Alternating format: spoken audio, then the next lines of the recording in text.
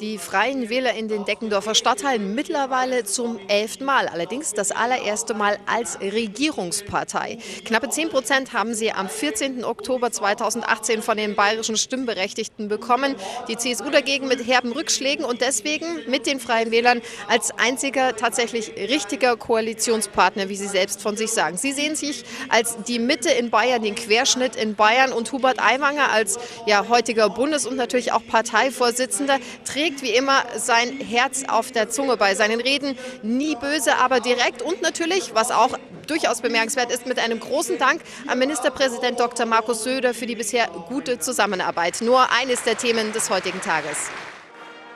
Standing Ovations schon vor dem eigentlichen Schlagabtausch. Ein Bild, das Freie Wählerzugpferd Hubert Aiwanger nicht ganz neu ist. Immerhin kämpft der studierte Landwirt aus Ergolsbach schon seit fast 13 Jahren an der Spitze der bayerischen Freien Wähler für deren politisches Gehör mit Erfolg. Für den Querschnitt Bayerns stehen die Orangenen seit dem 4. November 2018 in größter politischer Verantwortung als Regierungspartei. Und damit, so könnte man zumindest meinen, nicht unbedingt auf ständigen Kuschelkurs mit dem teils als übermächtig scheinenden Koalitionspartner CSU. Ja, man erhofft sich natürlich äh, trotzdem weiter noch Angriffe auf die CSU, weil äh, sie haben ja trotzdem nicht immer alles perfekt gemacht oder es ist ja trotzdem auch immer noch viel Arbeit. Aber ich denke, dadurch, dass wir jetzt quasi richtig mitarbeiten können, ähm, ist insgesamt so die Interesse einfach das Interesse viel größer an dem, was der Hubert sagen wird, weil das, was er jetzt sagt, das, was er vielleicht als Wirtschaftsminister umsetzen wird, das kann Hand und Fuß haben und kann auch in den nächsten paar Wochen und Monaten auch alles umgesetzt werden. Ich bin das erste Mal da. Ähm, ich werde es mir jetzt einfach mal anschauen, werde mich ähm, jetzt die Rede vom Herrn Aiwanger anhören. Ähm, es wird wahrscheinlich ein bisschen schwer für ihn, da die Freien Wähler das erste Mal in der Regierungsverantwortung sind. Ähm, aber er erwartet schon ähm, auch einen kleinen politischen Rundumschlag äh, gegenüber den anderen Parteien. Der Aiwanger, der macht immer super gute Reden und äh, ist sehr sympathischer, bodenständiger Typ. Und darum freue ich mich da schon drauf und hoffe auch, dass der ähm, ja, sehr nicht zurückhält und auch die Regierungspartner sozusagen da sehr nicht zurückhält. Ich denke, dass äh, heute insbesondere die Europapolitik äh, in den Fokus gerückt wird, äh, weil es ja wichtig ist, dass Europa gestärkt äh, aus den Wahlen hervorgeht. Europa war tatsächlich eines der Themen auf der Agenda der drei Hauptredner. Vielleicht genau deswegen überließ der Parteichef auch zunächst unter anderem Europaparlamentsabgeordneter Ulrike Müller die Bühne. Seit 2014 in Brüssel für die Freien Wähler im Parlament schlug sie sich als grimmsche Märchenerzählerin wacker vor den knapp 900 Zuschauern in der Deckendorfer Stadthalle 2.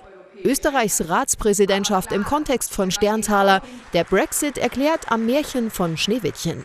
Realitätsverweigerung, das haben der Brexit und das Märchen gemeinsam. Leider ist aber der Brexit kein Märchen, sondern ein ganz realer Albtraum, meine Damen und Herren. Kein Albtraum, sondern erfreuliche Realität. Die ersten schon deutlich mehr als zarten Schritte der Freien Wähler in Sachen Koalitionsarbeit. Eines ihrer zentralen Anliegen, die Bildung. Der fast 42 Milliarden Euro schwere Haushaltsposten, der ganze Stolz des nun in freie Wählerhand liegenden Kultusministeriums. Unser Koalitionsvertrag ist ein wuchtiger Aufschlag für beste Bildung in Bayern. 5000 zusätzliche Lehrerinnen und Lehrer bis 2023.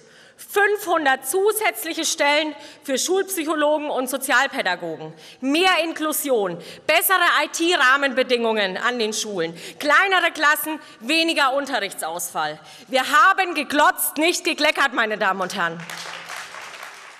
Gekleckert wurde anschließend auch nicht bei der lang erwarteten Rede des Parteichefs, Vizeministerpräsidenten und Wirtschaftsministers.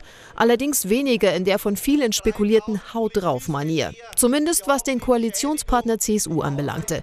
Hier gab es nämlich zunächst mal ein dickes Lob. An der Stelle meinen offenen Dank an den jetzigen Ministerpräsidenten Markus Söder für die bis dato ja, faire und kollegiale Zusammenarbeit er hat den Schuss gehört, wir haben ihn auch gehört. Es geht jetzt nicht darum, in den nächsten Monaten und Jahren vor allem innerhalb der Regierung zu streiten, wenn dann hinter verschlossenen Türen. Nicht ganz so zimperlich ging er dagegen mit der Opposition ins Gericht. Rot, Grün und Gelb, was ihr in den letzten 50 Jahren in Bayern bewegt hat, habt, das haben wir in den ersten drei Wochen unserer Regierungsbeteiligung erledigt, meine Damen und Herren. Dieser Seitenhieb, tatsächlich einer der wenigen in dem knapp 55 Minuten langen Auftritt des selbstbewussten Freiwählerchefs. Und Selbstbewusstsein, davon hat die orangene Macht der bürgerlichen Mitte inzwischen so einiges. Wir stärken die Landwirtschaft, wir stärken den Mittelstand. Schlicht um, wir packen an tausend Fronten zugleich an, weil wir die Leute dazu haben, weil wir die Themen dazu haben, weil Bayern unsere Ideen braucht, meine Damen und Herren. Themen und Umsetzung, die offenbar gleichermaßen an der Wählerbasis ankommen. Ja, also bis jetzt sind sie sehr aktiv und haben in den 100 Tagen sehr viel erreicht. Ich muss sagen, ich bin eigentlich sogar sehr zufrieden. Also das mit der Streps jetzt zum Beispiel, die jetzt äh, endlich Klarheit für alle Kommunen geschafft hat. Und äh, man zeigt einfach, man lässt die Kommunen auch als freie Wähler, wenn man in der Regierung ist, nicht ähm, los. Man ist immer noch auf deren Seite. Ich finde, wir machen einen guten Job für das, dass wir das erste Mal in der Regierungsverantwortung sind. Ähm, die CSU hat auch mit uns zum Schlucken und ja, gefällt mir. Also Daumen hoch für die Freien Wähler an ihrem 11. politischen Aschermittwoch im niederbayerischen Deckendorf. Und das nächste große Ziel neben der Europawahl im Mai steht auch schon auf der Agenda. Der Einzug in den Bundestag.